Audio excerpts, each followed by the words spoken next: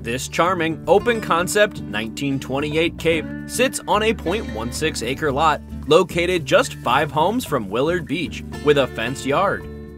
Dana Earls is ready to answer any questions you may have. Give him a call today